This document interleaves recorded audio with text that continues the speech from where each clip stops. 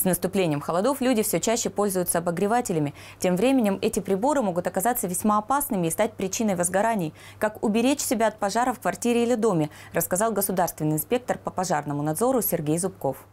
Особую опасность собой представляет, конечно же, э, возгорание, вызванное э, неисправностью или неправильной эксплуатацией электронагревательных приборов, отопительных приборов. Основная доля пожаров в осенне-зимний период приходится на пожары в жилье и в частном секторе. Проведенный анализ показал, что основными причинами возгораний в это время года являются неосторожное обращение с огнем и несоблюдение требований пожарной безопасности при эксплуатации печного отопления. Все оборудование необходимо применять только сертифицированное. Обязательно принимать во внимание инструкцию завода-изготовителя э, на тот или иной электронагревательный или отопительный прибор ни в коем случае не поручать присмотр за э, данными приборами детям. Кроме этого, детям и подросткам необходимо прививать навыки осознанного пожаробезопасного поведения, рассказывать о правилах обращения с электроприборами и объяснять, что нужно делать в экстренных случаях. Кстати говоря, сотрудники МЧС часто проводят учебно-тренировочные эвакуации и иные профилактические мероприятия в школах и на других социальных объектах. Их цель – контроль за работой систем противопожарной защиты на местах, а также выработка совместно с жителями наиболее оптимальной линии поведения при возникновении пожара и популяризация среди населения освоения навыков безопасного обращения с электрическими приборами.